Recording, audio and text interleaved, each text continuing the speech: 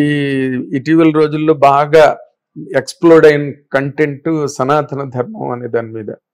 పవన్ కళ్యాణ్ గారు దాని గురించి మాట్లాడడానికి కూడా మీరు సమర్థించి మాట్లాడిన సందర్భాలు ఉన్నాయి. కానీ అక్కడ ఉదయనిధి మారన్ కానీ లేకపోతే ఇక్కడ ప్రకాష్ రాజ్ కానీ పవన్ కళ్యాణ్ గారి మీద విరుచుకుపడుతున్నారు. ఇప్పుడు సనాతన ధర్మం అనేది చాలా కాంప్లికేటెడ్ సబ్జెక్ట్ అండి. ఎవరో నిష్ణాతులు కాదు. నాకు I just know some fundamentals అంతే. అదేంటంటే ఒక్కొక్కడి దృష్టిలో ఒక్కో రకంగా ఉంటుంది. ఇప్పుడు నాకు ఇప్పుడు ఒక ఆయన చెప్పాడు. మనిషి దృష్టిలో భగవంతుడు ఎవడు అంటే మనం చాలా దేవుడి బొమ్మల్లో చూస్తాం. మనిషికి రెండు చేతులు. సో అయ్యే రెండు చేతులు దేవుడికి ఉంటే మనిషికి దేవుడికి తేడా ఉందని మనం నాలుగు చేతులు అలా పెడతా ఉంటాం. మామూలు ఒకే జ్ఞానం ఉన్నాడు మానవుడు ఒక తలకే ఉంది. బ్రహ్మ మహాజ్ఞాని. చతుర్ముఖుడు. చతుర్ముఖుడు. నాలుగు తలకాయలు. మనం మన విజువలైజేషన్ అది. సో అలాగా ఒక చేమ దృష్టిలో దేవుడు ఎవరు దేవుడు ఎలా ఉంటాడు? మనిషి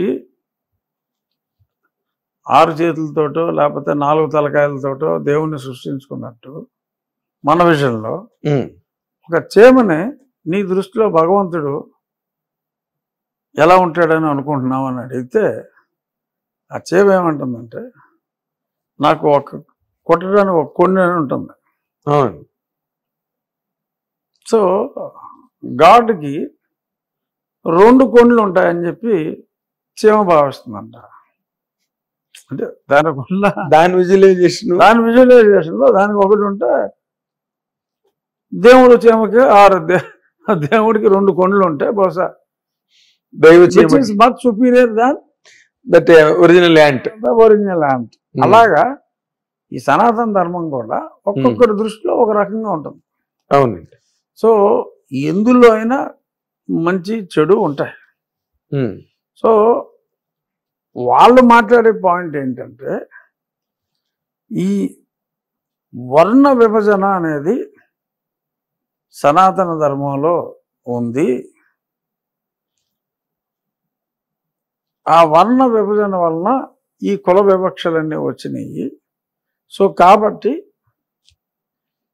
బికాస్ ఆఫ్ ఆ ఆ వర్ణ వివక్ష వలన అదే సనాతన ధర్మం అని చెప్పి వాళ్ళు అనుకుని దానికి వ్యతిరేకంగా వాళ్ళు మాట్లాడుతున్నారు. వాళ్ళ అర్థం చేసుకున్న సనాతన ధర్మం ప్రకారం వాళ్ళు మాట్లాడిన దాంట్లో తప్పు ఉందని నేను అంటలా. That is their perception their perception and their information or knowledge on that particular Sanatana ధర్మం their understanding their understanding so ఒక్కొక్కరికి ఇప్పుడు original purpose of creating the caste system is totally different చాతుర్వర్ణ వ్యాప్- మోడల్ ఎందుకు? అంటే ఒక్కొక్కరికి ఒక నిర్దిష్టమైన పని అప్పచెప్పకపోతే సమాజంలో అందరూ కలిసి బ్రతకాలి అంటే కొందరికి కొన్ని కొన్ని పనులు అప్పచెప్పాలి ఆ వృత్తి ప్రావీణ్యం వాళ్ళకు ఉంటుంది. సో అలాగా కమ్మరని కొమ్మరని వడ్రంగని అన్ని రకాల క్రాఫ్ట్స్కి ఇప్పుడు ఒక వడ్రంగి. వడ్రంగి వాళ్ళ కుమారుడికి వచ్చే వాళ్ళకి ఆ పని నేర్పుతాడు కాబట్టి మనకి సమాజం అవసరానికి ప్రతి క్రాఫ్ట్లోనూ నిష్ణాతులు ఉండేలాగా పెట్టారు. ఆ రంగంలో అప్పుడు ఎవరు ఆ రంగాన్ని ఎంచుకుంటే వాళ్ళు ఆ కులం అని చెప్పుకున్నారు. అవును. మొదలైంది అండ్ ఈవా లేకపోతే భగవంతుడు ఒక స్త్రీ పురుషుని సృష్టించడా? ఒక్కొక్క మతంలో ఒక్కొక్క రకంగా ఉంటుంది. అవును. బట్ మొదలైంది ఎగ్జిస్టెన్స్ మొదలైంది ఇద్దరు వ్యక్తుల దగ్గర నుంచే over a period of million of years. ఎందుకు వచ్చినాయి అంటే అందరూ కలిసి ఉండాలి అంటే అందరూ ఒకే పని చేస్తే మిగిలిన పని చేయడానికి ఎవరుంటారు? అందుకని చెప్పి ఒక డివిజన్ లాగా పెట్టారు. సో దా అది మిస్ఇంటర్ అయి ఉండొచ్చు కొంతమంది వివక్షకి గురై ఉండొచ్చు but that is not the mistake of the original మనం. ఆ తర్వాత మనం మనం దాన్ని ఎక్స్ట్రాపోలేట్ చేసి మిస్ఇంటర్ప్రిట్ చేసి చేసుకుని తెచ్చుకున్నాం. సో పర్హాప్స్ తమిళనాడు వాళ్ళు ఆ మిస్ఇంటర్ప్రిటేషన్ తప్పు అంటున్నారేమో. డెఫినెట్గా వర్ణ వివక్ష అనేది తప్పు. వివక్ష గురించి అది పెట్టలా. సమాజంలో పది మందికి పది మంది ఉపయోగపడటం కోసం ఒక సిస్టమ్ని తీసుకొచ్చింది చాతుర్వర్ణం అని ముందు పెట్టుకున్నది. ఆ సూత్రుల్లో ఉన్న కేటగిరీలో అన్ని ఇతరులు. ట్రేడింగ్ ఒకటి ఉండాలి అక్కడి నుంచి ఇక్కడికి ఇక్కడి నుంచి అక్కడికి తెచ్చి అమ్మేవాడు సో అప్పుడు ఎవరైతే అందులో ఎంచుకున్నారో వాళ్ళు వైశ్యులుగా పరిగణించబడ్డారు. వేరే వాళ్ళు కూడా చేస్తుంటారు. చేస్తుంటారు.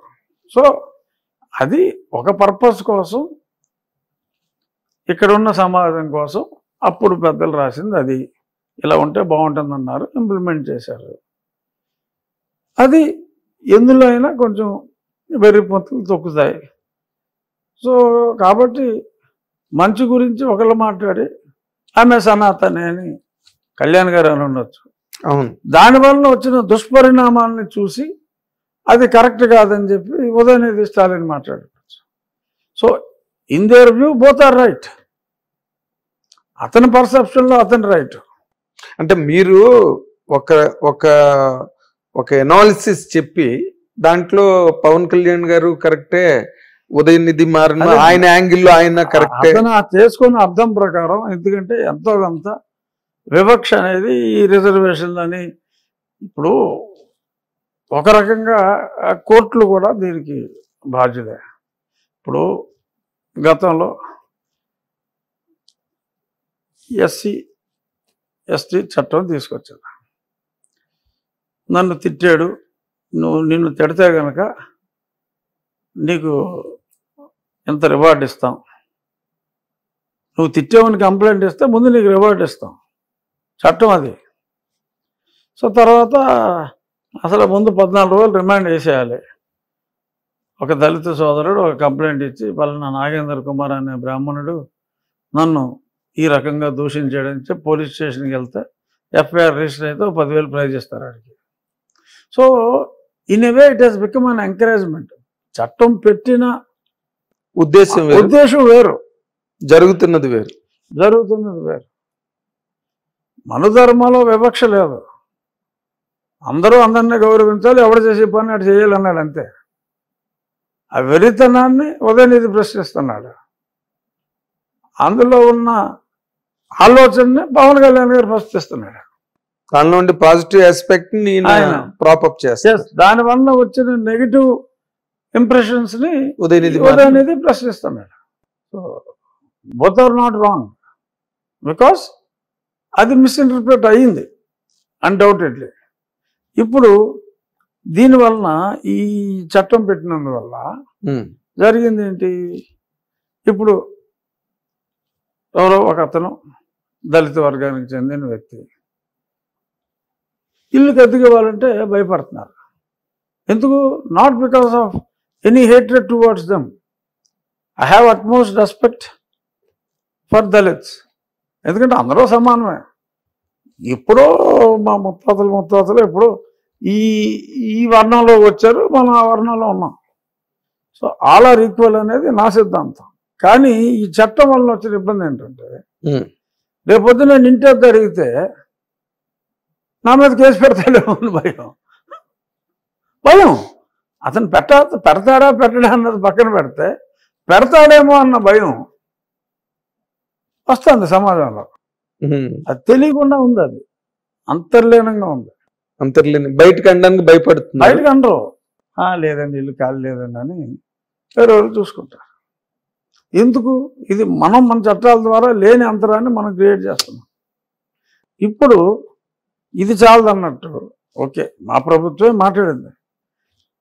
బీసీలకు కూడా ఈ చట్టం అంటున్నారు. మరి అది ఇంకొక తలనొప్పి కదండి? మామూలు తలనొప్పి కాదు. అంటే సమాజాన్ని విడగొడుతున్నారు according to me it may be my party decision but as an individual I can give my opinion అంతే కదా. ఇప్పుడు యాభై పర్సెంట్ బీసీలు ఉన్నారండి. ఇరవై పర్సెంట్ ఎస్సీలు ఉన్నారండి. ఇక మిగిలిన సోకాల్డ్ అగ్రవర్ణాలు. అగ్రవర్ణం లేదు గుండు లేదు ఎవరి దగ్గర డబ్బులు లేవు. డబ్బులు ఉన్న వాళ్ళ దగ్గర డబ్బులు ఉన్నాయి లేని వాళ్ళ దగ్గర లేవు అక్కడ అందరికన్నా బిగ్గెస్ట్ అగ్రవర్ణంగా ఈ చాతుర్ వర్ణంలో చెప్పేది బ్రాహ్మలు. బ్రాహ్మణులు ఉన్నంత దౌర్భాగ్య స్థితిలో ఎవరు లేరు. అవును. చెప్పాలి అంటే చదువుకు తగ్గ ఉద్యోగాలు రావు. ఎందుకంటే రిజర్వేషన్లో నూటికి తొంభై తొమ్మిది వస్తాయి కానీ మీకు ఏమి రావు. డెబ్బై వస్తే మీకు ఉద్యోగం రాదు. సో ఈ చాతుర్వర్ణ సిస్టంలో ఇప్పుడు అవును sir. According to me honestly I'm telling so అదొక త్రీ పర్సెంట్ ఇప్పుడు సోకాల్ సమాజంలో బ్రాహ్మణులు ఒక త్రీ పర్సెంట్ అండి వైశ్యులు ఒక నాలుగు పర్సెంట్ ఉంటారు. క్షత్రియులు ఓ పర్సెంట్ అండి. సరే కమ్మవారు ఒరిజినల్గా శూద్రులైన అగ్రవర్ణంలో ఉన్నారు. సో కమ్మవాళ్ళు ఒక ఆరు పర్సెంట్ వేసుకోండి. రెడ్డి అనే కులం లేకపోయినా దట్స్ టైటిల్ title. కాపులు రెడ్లు అంతా మోరాల్లో సేమ్.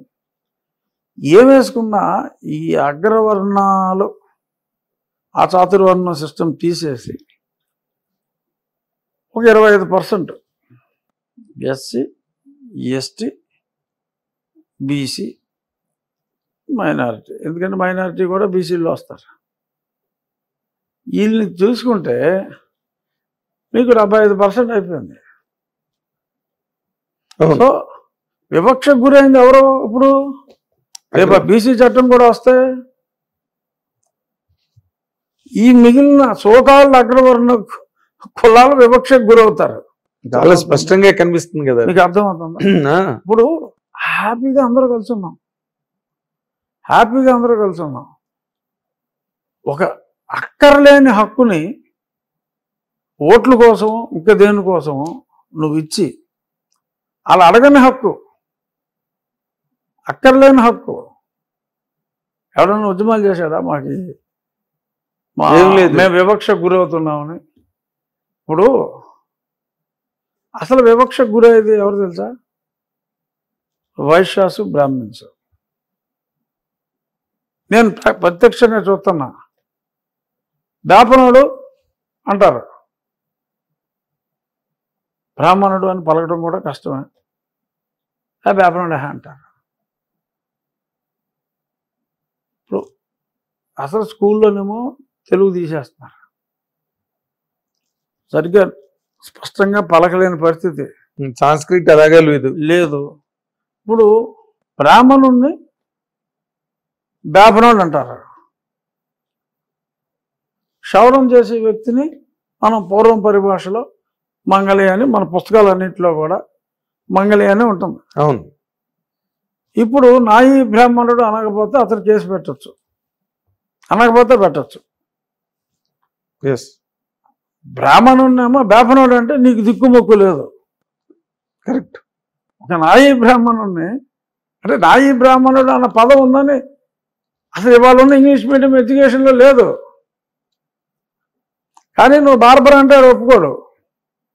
ఇంగ్లీష్లో నీకు బార్బర్ అని ఉంటుంది. నాయి బ్రాహ్మణుడికి ప్రత్యామ్న పదం లేదు అక్కడ. వాషర్మెన్ అని ఉంటుంది. ఈ చట్టం ప్రకారం యూ వాషర్మెన్ అంటే నాకు లేదు. ఎందుకంటే ఇంగ్లీష్ మీడియం చదువుకుంటున్నాడు ఇంగ్లీష్లో వాషర్మెన్ అనే ఉంటుంది. అవును Because- దానికి వేరేగా నామినిక్లేచర్ లేదు కదా. వేరే నామక్లేచర్ లేదు. ఓ రజక అని పిలవకపోతే అతను కేసు పెట్టచ్చు. చాలా పెక్యులర్ ప్రాబ్లమ్స్ రజిక చట్టం అదే చెప్తుంది ఇప్పుడు. ఎలా? ఇంత కాంప్లెక్స్ కావుడోడు అంటే నీ కేసు పెడతానికి లేదు. దాని పక్కన ఇంకో సఫిక్స్ కూడా పెడతారు. మనం మాట్లాడుకోలేము సభ్య సమాచారం. డబ్బులు కూడా పెడతారు. పెడతారు. అదే అనుభూతున్నాను. సో మీరు అనొచ్చు బీయింగ్ ఏ బ్రాహ్మణ్ నేను అనలేను. అంటే మళ్ళీ బ్రాహ్మణ సంఘాలు నన్ను కూడా పడతాయి అవును బేపన్న కొడుకులు అంటారు కదా. అదే మీరు అనొచ్చు నే- మిమ్మల్ని ఎవరేమనరు. నేను అన్నాను అనుకోండి మళ్ళీ నన్ను నన్ను తప్పుపడతా. ఇప్పుడు అలాగా మీరు వర్ణ వివక్షకు గురవచ్చు కానీ అసలు పదాలే లేని ఇప్పుడు ఇంగ్లీష్ మీడియమే అయిపోతుంది.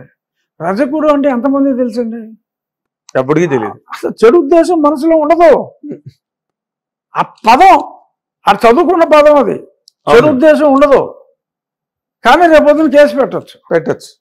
పెట్టచ్చు ఏంటి? పెడతారు. పెడతారు. పెడతారు. సిస్టమే ప్రొవోక్ చేస్తుంది కదా. సిస్టమ్ ప్రొవోక్ చేస్తాను మరి- కేసు కట్టిన వెంటనే నువ్వు రివార్డ్ ఇస్తున్నావు.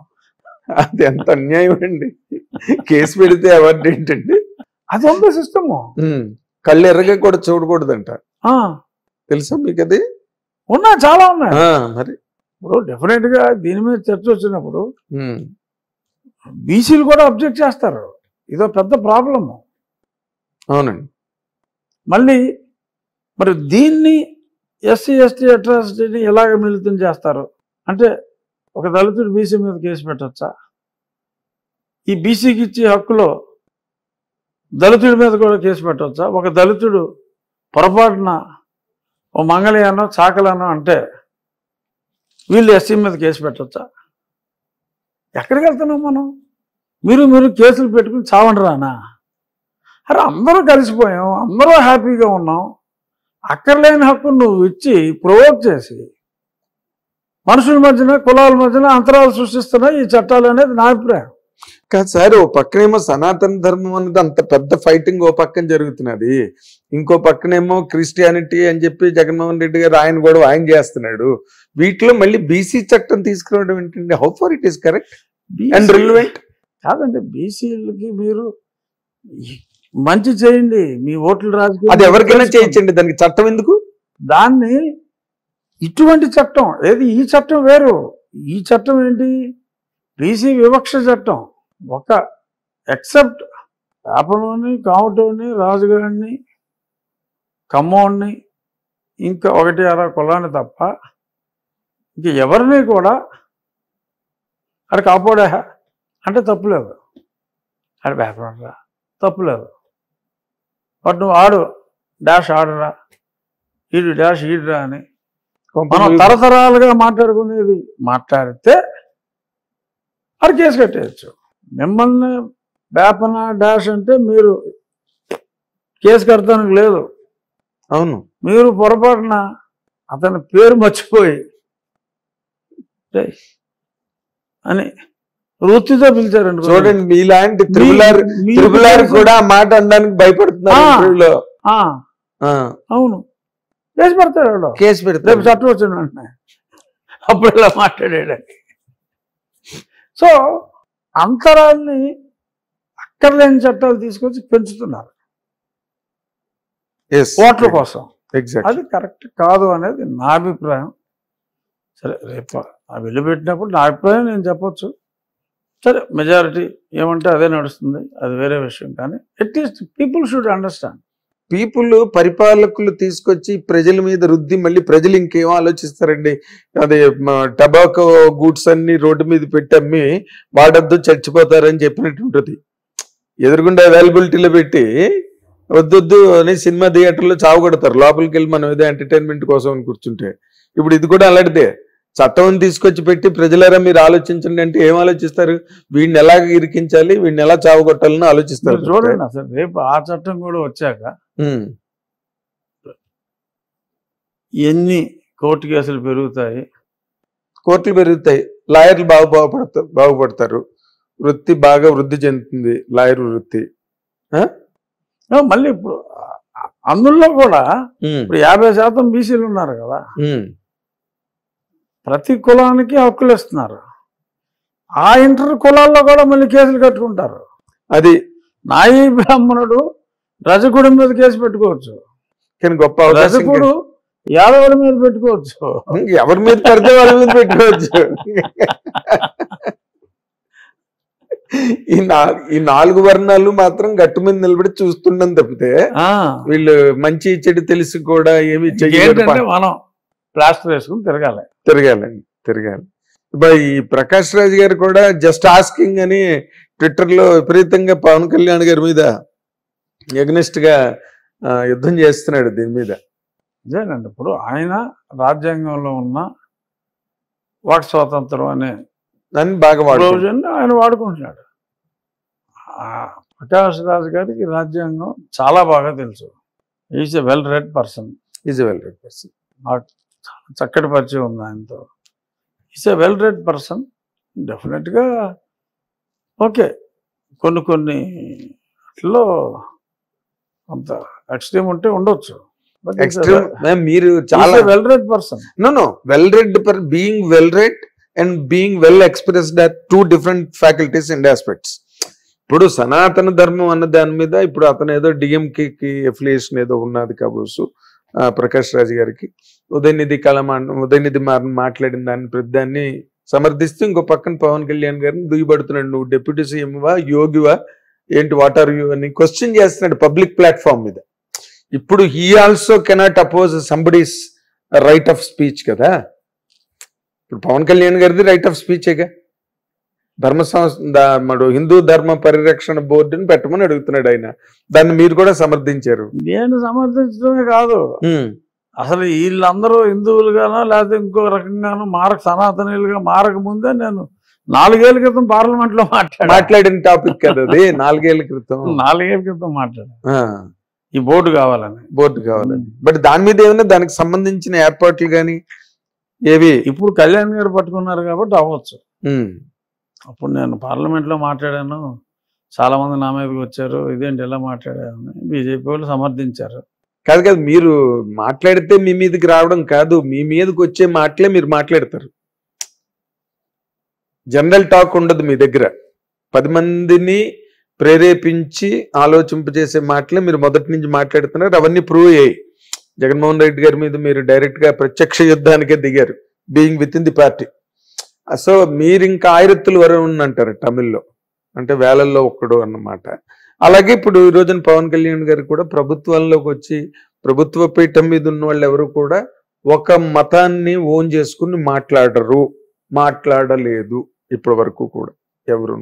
బట్ దాన్ని ఆయన చాలా ప్రాక్టికల్గా is reiterating vociferously on every dais on every possible occasion